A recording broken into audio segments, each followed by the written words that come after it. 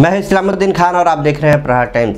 कहा जाता है, जाको राखे, सया मार सके ना कोई, ये कहावत तब सच हुई जब एक मासूम बच्ची महज चंद सेकंड में मौत से बच गई। वीडियो जोधपुर के घोड़ा चौक का है। सीसीटीवी में देखा जा सकता है कि एक मासूम बच्ची सड़क पर खेलते हुए आ रही है और मगर तभी एक गड्ढे में गिर जाती है।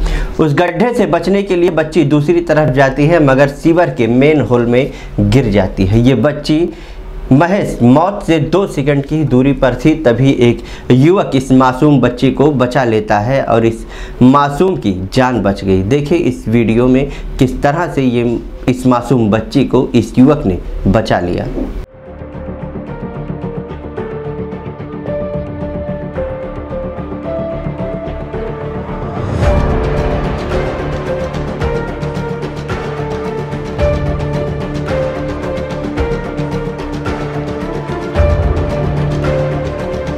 बच्ची को सही समय पर इस युवक ने बचा लिया। इस तरह की लापरवाही देश भर में अब तक कई मासूमों की ज़िंदगी छीन ली है। मगर इसके बावजूद शासन प्रशासन की नीत नहीं खुल रही है।